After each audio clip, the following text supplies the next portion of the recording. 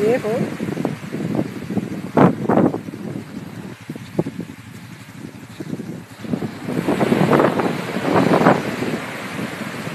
Careful.